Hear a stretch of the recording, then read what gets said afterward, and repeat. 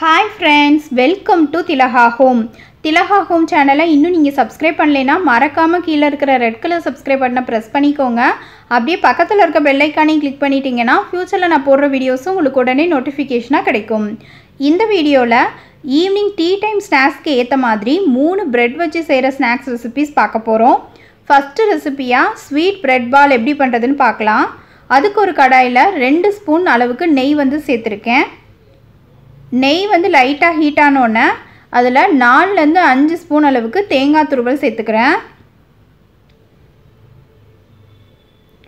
நெய்யில் இந்த தேங்காய் துருவல் ரொம்ப நேரம் வதங்கணும்லாம் கிடையாது. லைட்டாக அந்த தேங்காய் துருவலில் சூடு ஏறினா போதும். அது வரைக்கும் நம்ம வறுத்துக்கலாம்.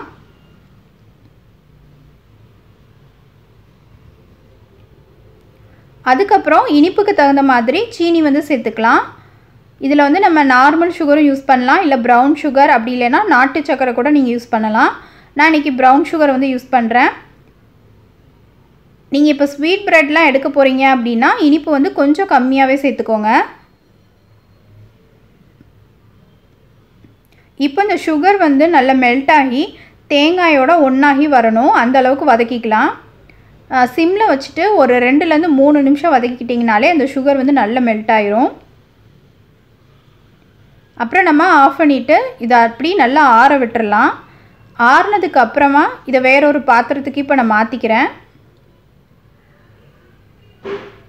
இப்போ இதில் நம்ம ப்ரெட் வந்து சேர்க்க போகிறோம் நான் இன்றைக்கி மூணு ஸ்லைஸ் ப்ரெட் வந்து எடுத்திருக்கேன். நான் எடுத்திருக்க இந்த நாலுலேருந்து அஞ்சு ஸ்பூன் தேங்காய் துருவலுக்கு வந்து மூணு ஸ்லைஸ் ப்ரெட் வந்து சேர்க்கலாம். ஸோ ப்ரெட்டை வந்து ஒன்று ரெண்டாக பிச்சு உள்ளே சேர்த்துக்கிறேன்.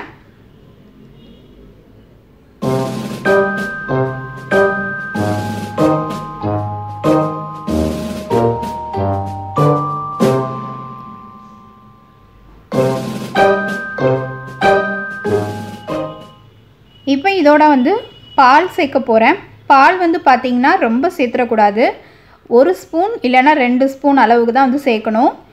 நீங்கள் ஒரு ஸ்பூன் ஊற்றிட்டு பிசைஞ்சு பாருங்கள் உங்களுக்கு இன்னும் கொஞ்சம் பிசையதுக்கு தேவைப்பட்டால் இன்னொரு ஸ்பூன். அந்த மாதிரி ஒவ்வொரு ஸ்பூனாக ஊற்றி பாருங்கள் மேக்ஸிமம் ரெண்டுலேருந்து மூணு ஸ்பூன் தான் ஊற்றணும் அதுக்கு மேலே ஊற்றிட்டீங்க அப்படின்னா நம்ம எண்ணெயில் வந்து டீப் ஃப்ரை பண்ணும்போது நிறைய வந்து ஆயில் வந்து உறிஞ்சிரும்.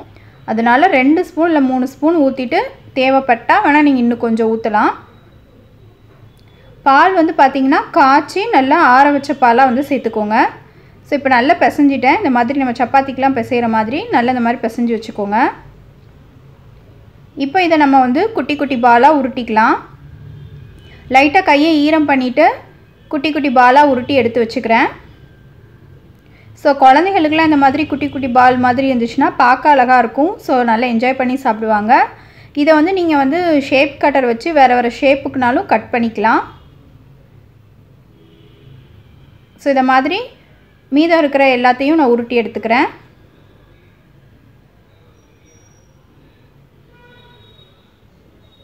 ஸோ இப்போ இது எல்லாத்தையும் நான் உருட்டி வச்சாச்சு. இப்போ நம்ம இது எல்லாத்தையும் எண்ணெயில் வந்து டீப் ஃப்ரை பண்ணிக்கலாம்.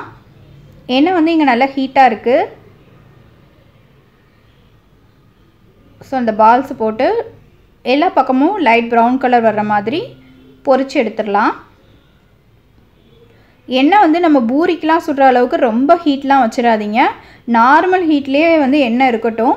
ஏன்னா வந்து ப்ரெட் வந்து சீக்கிரமாக வந்து ப்ரௌன் கலர் ஆயிரும். ஸோ ஓவர் ஹீட்டில் போட்டிங்க அப்படின்னா கருகிறதுக்கு சான்சஸ் இருக்குது ஸோ கருகிட்டு அப்படின்னா இந்த ஒரு மாதிரி கசப்பு டேஸ்ட் வந்து வந்துடும் அதனால் நார்மல் ஹீட்டில் சிம்மில் வச்சு மெதுவாக ரெண்டு பக்கமும் ப்ரௌன் கலர் வர்ற மாதிரி பொரிச்சு எடுத்துக்கலாம். ஸோ உங்கள் எல்லாருக்கும் ஒரு டவுட் வரலாம். ப்ரெட்டை வந்து இந்த மாதிரி நம்ம ஃப்ரை பண்ணும்போது எண்ணெய் குடிக்குமா அப்படின்னு கண்டிப்பாக எண்ணெய் எதுவுமே குடிக்காது.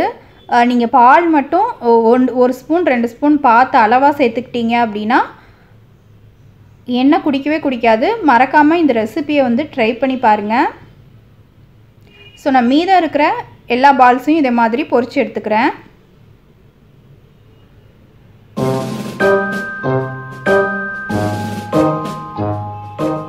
நம்மளோட ஸ்வீட் ப்ரெட் பால் ரெடி ஆகிடுச்சு குழந்தைகளுக்கெலாம் கண்டிப்பாக செஞ்சு கொடுங்க. இது வந்து பார்த்திங்கன்னா அவுட்ரு லேயர் வந்து நல்லா க்ரென்ச்சியாக உள்ள சாஃப்டாக சூப்பராக இருக்கும். மறக்காமல் உங்கள் குழந்தைகளுக்கெலாம் செஞ்சு கொடுத்துட்டு ஃபீட்பேக்கை என்னோட ஷேர் பண்ணிக்கோங்க. இப்போ நம்ம அடுத்த செகண்ட் ஸ்நாக்ஸ் ரெசிப்பியாக வந்து மசாலா பிரெட் டோஸ்ட் வந்து பண்ண போகிறோம் அதுக்கு வந்து ஒரு மூணு ஸ்லைஸ் ப்ரெட்டை வந்து தோசை தவாவில் வந்து டோஸ்ட் பண்ணி எடுத்திருக்கேன். நெய்யோ இல்லைனா பட்டரோ ஆட் பண்ணி நம்ம டோஸ்ட் பண்ணிக்கலாம். அதுக்கப்புறம் அது இந்த மாதிரி ஒன்று ரெண்டாக கட் பண்ணிக்கிட்டேன். இப்போ இதுக்கு தேவையான பொருட்கள் என்னென்னு பார்த்தீங்கன்னா ஒரு பெரிய வெங்காயம் ஒரு கேரட் நல்லா துருவி வச்சுருக்கேன். அப்புறம் ஒரு தக்காளி பழம். இப்போ இதை செய்யலாம். ஃபஸ்ட்டு கடாயில் ரெண்டு ஸ்பூன் எண்ணெய் ஆட் பண்ணியிருக்கேன். எண்ணெய் ஹீட் ஆனோடனே ஃபஸ்ட்டு நம்ம ஒரு பெரிய வெங்காயம் கட் பண்ணி வச்சுருக்கோம்ல அதை சேர்த்துடலாம்.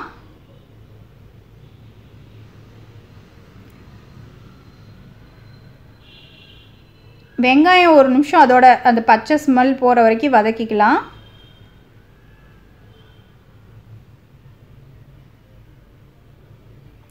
ஸோ இப்போ வெங்காயம் வதங்கிருச்சு. இதில் கொஞ்சமாக இஞ்சி பூண்டு பேஸ்ட் வந்து சேர்த்துக்கலாம்.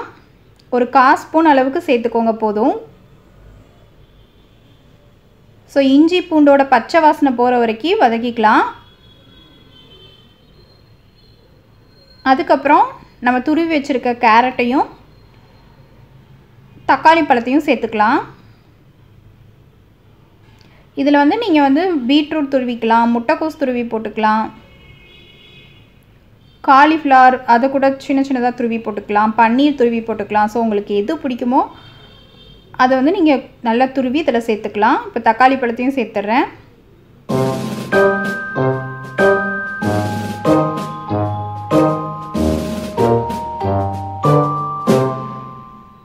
கொஞ்சம் மஞ்சத்தூள். காரத்துக்கு ஏற்ற மாதிரி மிளகாத்தூள். குழந்தைகளுக்கெலாம் கொடுக்குறதா இருந்தால் காரம் கொஞ்சம் கம்மி பண்ணியே கொடுக்கலாம்.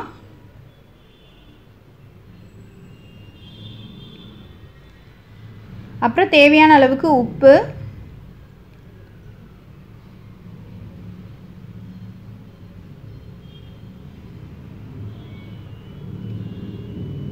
அப்புறம் ஒரு ஸ்பூன் அளவுக்கு கரம் மசாலா. கரம் மசாலா கண்டிப்பாக சேருங்க. அப்போ தான் அந்த ஃப்ளேவர் ரொம்ப நல்லாயிருக்கும். ஸோ இந்த மசாலாவோட பச்சை வாசனை போகிற வரைக்கும் நல்லா வதக்கிட்டு நம்ம டோஸ்ட் பண்ணி கட் பண்ணி வச்சுருக்கிற இந்த ப்ரெட்டை வந்து சேர்த்துக்கலாம். ப்ரெட்டை சேர்த்துட்டு நல்லா அந்த வெங்காயம் கேரட் அந்த மசாலாஸோடு நல்லா மிக்ஸ் பண்ணி விட்டுருங்க. லைட்டாக தண்ணி வந்து தொளிச்சிக்கலாம். தண்ணி வந்து எதுக்கு தொளிக்கிறோம் அப்படின்னா நம்ம போட்டிருக்க அந்த மசாலாஸ்லாம் நல்லா ஒன்றாகி வர்றதுக்காக. நான் இப்போ வந்து கொஞ்சம் வந்து டொமேட்டோ கெச்சப்பும் சேர்த்துக்கிறேன். இது ஆப்ஷனல் தான். டொமேட்டோ கெச்சப் உங்களுக்கு பிடிக்கும்னா சேர்த்துக்கோங்க. அதுக்கப்புறம் லைட்டாக தண்ணி வந்து சும்மா கொஞ்சமாக தெளித்தா போதும். அப்போ இந்த ப்ரெட்டில் வந்து அந்த மசாலாலாம் நல்லா ஒட்டி பிடிச்சிக்கும். அதுக்காக தான். தண்ணி தொளிக்க மட்டும் செய்யுங்க ஊற்றிடாதீங்க அவ்வளோதான். ஃபைனலாக கொத்தமல்லி தலை போட்டு நம்ம சர்வ் பண்ணிடலாம்.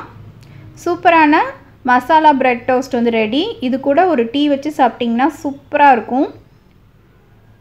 மறக்காமல் இதையும் செஞ்சு பாருங்கள் செஞ்சு பார்த்துட்டு உங்கள் ஃபீட்பேக்கை ஷேர் பண்ணிக்கோங்க. அப்புறம் மூணாவது ஸ்நாக்ஸாக வந்து நான் வந்து ப்ரெட் போண்டா வந்து பண்ண போகிறேன் அதுக்கு வந்து நான் மூணு ஸ்லைஸ் ப்ரெட்டும் பூரிக்கு செஞ்ச உருளைக்கிழங்கு மசாலா மீதி இருக்குது அதுவும் எடுத்திருக்கேன். இந்த பூரி uh, கிழங்கு வந்து ஆப்ஷனல் தான். இருந்துச்சு சப்போஸ் நீங்கள் காலையில் செஞ்சு மீந்தது இருந்துச்சுன்னா நீங்கள் யூஸ் பண்ணிக்கோங்க. இப்போ ஒரு பவுலில் ஒரு அரை கப் அளவுக்கு கடல மாவும் ஒரு கால் கப் அரிசி மாவும் கொஞ்சம் மஞ்சத்தூள் பெருங்காயத்தூள் காரத்துக்கு ஏற்ற மாதிரி மிளகாத்தூள் தேவையான அளவுக்கு உப்பு. அப்புறம் நான் இதில் கொஞ்சம் சாட் மசாலா சேர்த்துருக்கேன். ஜஸ்ட் ஒரு ஃப்ளேவருக்காக சாட் மசாலா இல்லை அப்படின்னா நீங்கள் கரம் மசாலா வந்து சேர்த்துக்கலாம். இப்போ இந்த மசாலாஸ் எல்லாம் நல்லா அந்த கடல மாவு அரிசி மாவோட மிக்ஸ் பண்ணிடலாம். மிக்ஸ் பண்ணிவிட்டு தண்ணி ஊற்றி நம்ம பஜ்ஜி மாவு பிசைவோம் இல்லையா அந்த கன்சிஸ்டன்சிக்கு வந்து பிசைஞ்சிக்கலாம். ரொம்ப தண்ணி ஆயிடக்கூடாது நல்லா கட்டியாக பஜ்ஜி மாவு பதத்துக்கு இருக்கணும். இப்போ கொஞ்சம் கொத்தமல்லி தலையை குட்டி குட்டியாக கட் பண்ணி சேர்த்துக்கிறேன். நீங்கள் கருவேப்பிலை கூட குட்டி குட்டியாக கட் பண்ணி ஆட் பண்ணிக்கலாம். இப்போ நல்லா மிக்ஸ் பண்ணிக்கலாம். ஸோ மாவு பதம் வந்து இந்த மாதிரி இருக்கணும். கொஞ்சம் கட்டியாக இருக்கணும். ரொம்ப தண்ணியாக வந்துடக்கூடாது ரொம்ப கட்டியாக வந்துடக்கூடாது இந்த பதத்துக்கு இருக்கணும். ஸோ இப்போ வந்து ப்ரெட் இருக்கு இல்லையா? ப்ரெட்டில் வந்து இந்த நான் உருளைக்கிழங்கு மசாலாவை ஸ்டஃப் பண்ண போகிறேன் உருளைக்கிழங்கு இல்லாமலும் இது செய்யலாம். உருளைக்கிழங்கு இல்லைன்னா நீங்கள் டேரெக்டாக அந்த கடல மாவுதில் டிப் பண்ணி பொறிக்கலாம். நான் உருளைக்கிழங்கு இருக்கிறதுனால அதை உள்ளே ஸ்டஃப் பண்ணி பண்ணுறேன் அடியில் ஒரு லேயருக்கு வந்து நான் வந்து டொமேட்டோ கெச்சப் வந்து ஒரு லேயர் வந்து அப்ளை பண்ணிக்கிறேன். இதுவும் ஆப்ஷனல் தான். இதுக்கு பதிலாக நீங்கள் க்ரீன் சட்னி கூட வந்து ஸ்ப்ரெட் பண்ணிக்கலாம். இப்போ இந்த பூரி மசாலாவை உள்ளே வச்சிடுறேன்.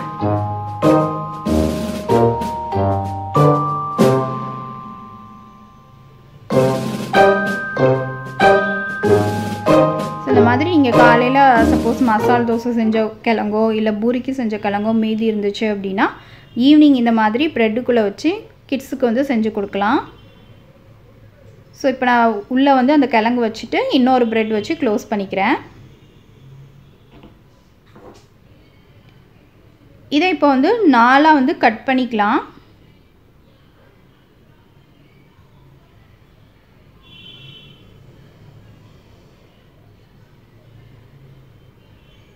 ஸோ இந்த மாதிரி நாலாக கட் பண்ணிக்கிறேன் நாலு பீஸாக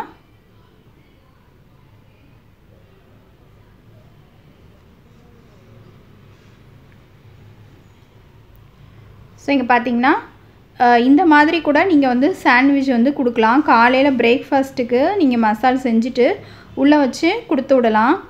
கிட்ஸுக்கு ரொம்ப பிடிக்கும். ஈஸி சாண்ட்விச் மாதிரி கூட நீங்கள் இந்த மாதிரி ஸ்மால் ஸ்மாலாக கட் பண்ணி அவங்களுக்கு காலையில் பிரேக்ஃபாஸ்ட்டு கொடுக்கலாம்.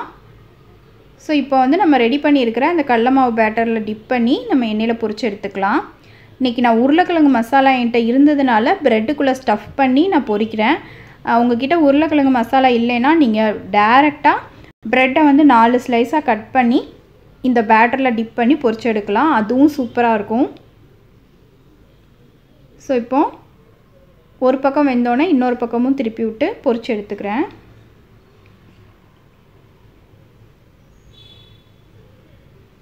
சூப்பரான பிரெட் போண்டா ரெடி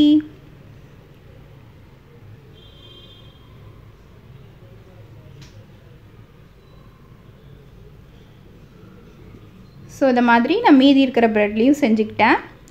இது பார்த்திங்கன்னா ப்ரெட்டோட ஓரத்தை கட் பண்ணாமல் பொரிச்சது முன்னாடி இருக்கிறது பார்த்திங்கன்னா ப்ரெட்டோட ஓரத்தை கட் பண்ணி பொரிச்சது. ஸோ எந்த மாதிரி வேணுமோ அந்த மாதிரி நீங்கள் செஞ்சுக்கலாம்.